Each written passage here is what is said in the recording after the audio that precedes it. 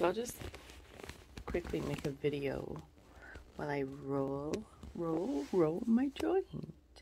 And I will make a comment on this Tim Hortons app card because I have one and I use mine all the time. So I've thought about this before and I thought like, oh, if I was hiding, if I was hiding.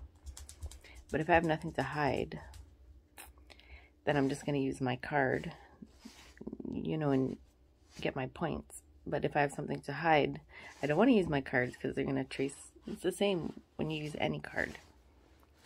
So if I go from one Tim Hortons to another Tim Hortons, you can see on the map all across, you know, Ontario, all of my Tim Hortons that I've been at.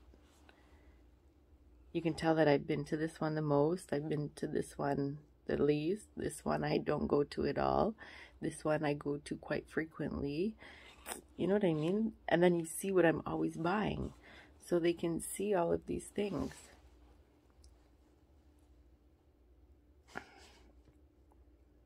That lawsuit's a sham. And that's it. Don't you don't use the app then. Don't use your card. Don't tap in if you don't want your free stuff. Obviously, they have to track your location because that's the point of the franchise. Um,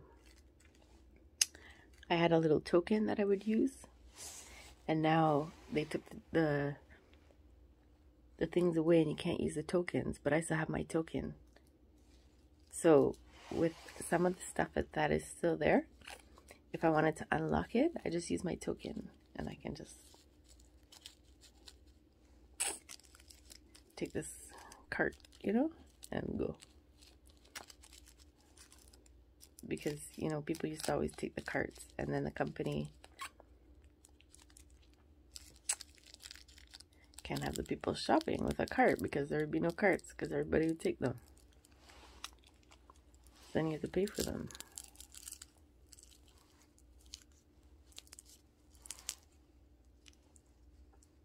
I,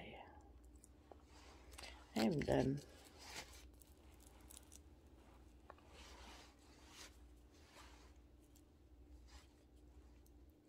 I'm happy with it. Because just the same, the people, maybe the person working at that Tim Hortons, worked there for 50 years. I don't know.